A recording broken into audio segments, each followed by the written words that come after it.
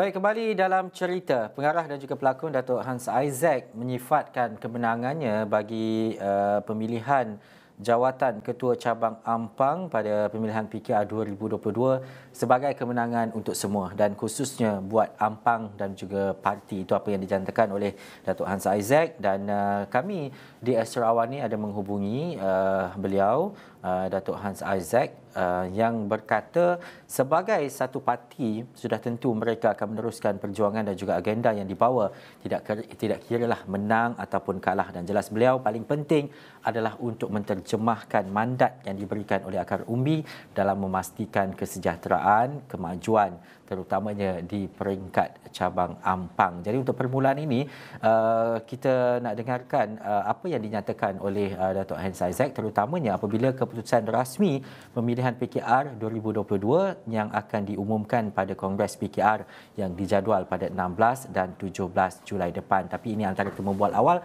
saya bersama dengan Datuk Hans Isaac. Uh, saya rasa kalau kita katakan ini kemenangan bagi saya, tidak.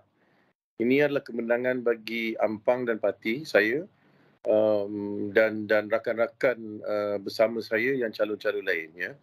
Um, so bagi saya, bila orang cakap tahniah, tahniah saya cakap ini sebenarnya tahniah untuk semua, bukan untuk saya. Sebab di dalam cabang tu bukan hanya saya. Ada jawatan-jawatan lain sebagai timbalan, naik, AJK dan segala dia yang juga uh, uh, berjaya. Kan? So ini adalah satu pasukan. Tapi mungkin sebab uh, ramai kenal saya dengan sekiranya kejayaan saya sebelum ini, uh, tumpuan di Ampang tu jadi kepada ultimate dan saya.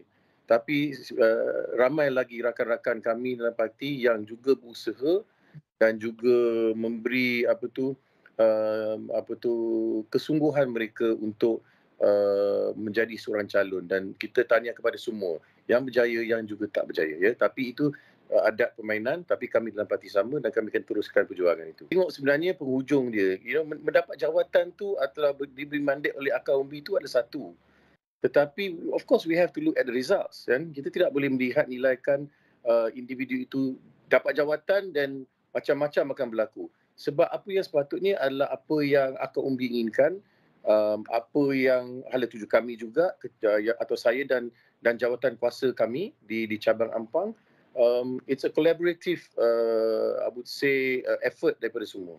You know what I mean? Um, so of course banyak yang kita nak lakukan. You know what I mean? Gabungkan balik umbi kita gabung balik jentera-jentera kita di Ampang. Dan untuk kami uh, siap sedia lah untuk untuk beberapa bulan yang akan datang ni ya. Dan uh, kita melihat kepada bagaimana iltizam Datuk Hans Isaac terutamanya selepas uh, di selepas menang pemilihan uh, cabang Ampang bagi pemilihan uh, PKR 2022 dan juga kita tahu di sebalik uh, pengaruhnya dalam dunia hiburan keputusan Datuk Hans Isaac untuk menyertai arena politik dilihat sebagai satu titik baharu khususnya dalam membawa kematangan politik.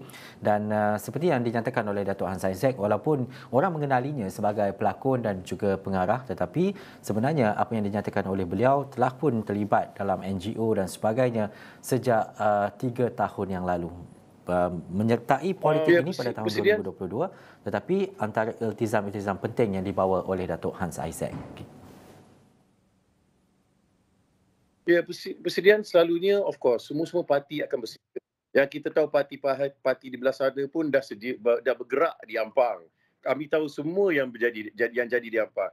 Apa yang berlaku di Ampang tak sampai 6 jam hingga 24 jam saya dah tahu dah apa yang bergerak di Ampang kan siapa gerak, siapa tak jalan, semua everything. We, we biarkan Ampang ni laju je kita dapat in, intel kata information. So kita tahu siapa tengah bergerak di Ampang. Dan kami tahu uh, parti-parti lain dah mula bergerak di Ampang. Dan kami dah lama, kita bukan tunggu PRU. Kami dah tiga tahun dah bergerak. Masa federal uh, PH jatuh, kami still continue, you know. So it, it is not the issue of just because PRU kita harus bergerak dan bersedia, itu sepatutnya selalu uh, kami harus laksanakan. Tapi PRU berbeza. Of course, kita ada this extra key areas yang kita harus bersedia lah. Dan itu cabang akan memulakan untuk buat pergerakan dan start to uh, apa tu gabungkan semua akaumbi kita, jentera-jentera kita untuk persediaan itu. Of course, I have to get the mandate from HQ. um, dan pimpinan untuk kami laksanakan tanggungjawab itu. Saya akan ikut arahan. Dan tanggungjawab, tanggungjawab saya belum lagi official lagi kan. Sebab official di di kongres eh. saya minta maaf. Jawatan itu bermula daripada kongres bila akan berlaku dua minggu lagi ya. Um, baru hmm. cabang um, diberi action mandat yang sepenuhnya. Um, sebelum tu tidak ya. Um, tapi saya harus melaksanakan tanggungjawab saya secepat mungkin sebab kami ada kongres pada 16 17 uh, 16 17 Julai ini kan Um, tapi tentang PRU dan dan dan wakil atau calon untuk PRU, saya ikut arahan daripada presiden dan saya ikut arahan daripada pimpinan dan siapa saja yang menjadi calon di Ampang atau di mana-mana, kami akan sokong. Kami akan buat sedaya upaya untuk uh, menjayakan parti kami dan ahli-ahli kami. Itu saja, kan? It is, not, hmm. it is not my position to say who ada wakil that is out of my hands. Itu bukan uh, uh, yeah, I think you understand what I'm trying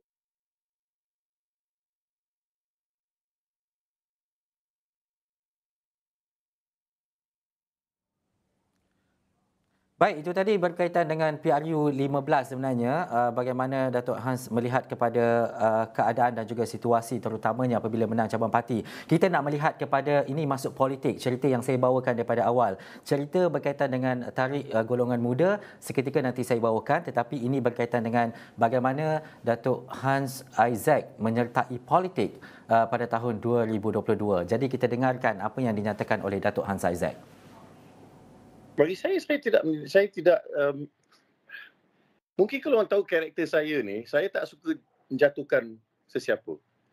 Um, dan saya ni suka buat benda dengan tulus ikhlas dan ramai orang cakap you nak jadi politician you tak boleh ada karakter ni. Kat saya. Tapi saya cakap tak apalah. Saya ikut cara saya kan? You have to be nasty and mean to be a politician. Saya rasa yes ada orang begitu. Tapi inilah cara rakyat untuk memilih uh, ahli-ahli mereka atau ketua-ketua mereka atau uh, pimpinan mereka atau parti mereka atau calon mereka yang tidak ada karakter-karakter itu. So it comes down to akal umbi to decide di manalah mereka nak letak undi mereka untuk individu individu itu yang bekerja, yang berintegriti dan ikut uh, apa kehendak akal umbi. This is it. Banyak orang boleh cakap. Saya pun boleh cakap banyak. Tapi adakah saya boleh laksanakan tanggungjawab saya? So don't judge me now. Beri saya peluang untuk laksanakan tanggungjawab saya. Maybe evaluate me dalam 4 months or 6 months. We can have this conversation. You see? Tapi lagi bagi saya peluang dulu untuk untuk uh, gabungkan pasukan kami di cabang itu sebab ini bukan usaha saya sendiri. Ini usaha team effort. Dan ask, so, I, I ask me about apa tu uh, uh, the younger generation um, hmm. uh, pengundi-pengundi muda Beauty daripada saya mungkin berbeza sebab saya dalam usia yang kawan-kawan golongan saya yang muda dan senior. So saya in the middle of the fence. Saya faham kehendak dan fikiran minda anak-anak muda kita, anak-anak muda atau sahabat-sahabat muda kita dan saya menghormati uh, senior-senior kami dan dan mentor-mentor kami yang orang-orang yang yang yang telah berjuang untuk negara, untuk parti ataupun kawasan because everybody has a story and everybody pernah buat their part we need to learn from the good, buang the bad. And then mungkin anak-anak muda kita akan menilaikan balik and tengok, okay, this is something fresh for me. Ini politik yang fresh. Sebab politik ini politik lama. Hmm. We have, we can, we cannot deny ni. Politik di Malaysia ni politik style lama. Kita harus tukar benda tu. So contohnya, kalau ada beberapa ahli politik di parlimen yang you tak suka, you mandate-nya is from the rakyat. Vote them out and vote the quality people in. Itu saja. Dia pun merasa uh, isu ni ya. Uh, saya bagi contoh, saya isi minyak dalam kereta saya. Saya terkejut. tak cukup. Kena top up lagi benda tu kan. Nak dapat full tank. So lepas tu terus ah saya memikir cara dengan lain untuk jimat minyak, you see. Tak pernah semua hidup saya saya memikir begitu. Tapi bulan lepas, beberapa bulan ni, fikiran saya sendiri dah saya bagi tahu staff saya, kereta macam ni, ah, isi minyak macam ni. Jangan sebab kita kena kena kena jaga-jaga sebab cost of living dah tinggi. Kita punya apa tu minimum wage pun walaupun naik 300 hari tu uh, beberapa bulan dulu mungkin masih tak cukup untuk uh, sahabat-sahabat kita di dalam bandar. Bukan nak katakan luar bandar tak mahal untuk cost of living. Memang. Tetapi di bandar semua orang tahu, maklum semua orang tahu di bandar, it is very expensive to to the cost of living. So bagaimana kita nak tukar benda ni? These are from the corporate structure. Corporate structure. Sebab dia, uh, okay, let's be honest. Mm-hmm. Stock market berjalan kerana every company atau every uh, uh, syarikat nak profit. So dia akan cuba OPEX as low as possible to have profit. So boleh di declare end of year, share market tu sustainable. Which economy looks sustainable di dalam negara and around the world. Tetapi, so dia tak nak OPEX dia naik. So of course minimum wage tu, kalau factory, satu factory ada 10,000 staff, naik 500, of course sangat banyak wang yang akan dikeluarkan. So it's a chicken and egg situation. These are the problems that you face in in in in in the structure, you see, or the economy structure. Tapi hmm. for now, nak cakap saya untuk repair tu, saya tak ada. saya hanya cabang ampang ya, buat masa So itulah pandangan saya lah. Eh. Okay. Pandangan saya. I know everybody is having a tough time. We are having a tough time as well. Bukan just akan we, are all having the tough time bersama as Malaysia.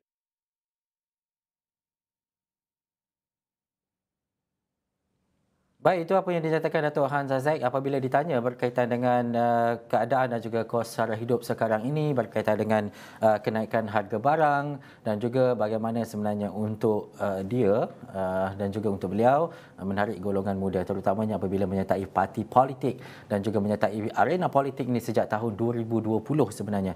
Dan uh, pada 2022 ini uh, beliau uh, memberanikan diri bertanding di peringkat cabang eh, pada pemilihan PKR 2022. Apapun keputusan rasmi bagi pemilihan PKR 2022 akan diumumkan pada Kongres PKR yang dijadualkan pada 16 dan juga 17 Julai depan.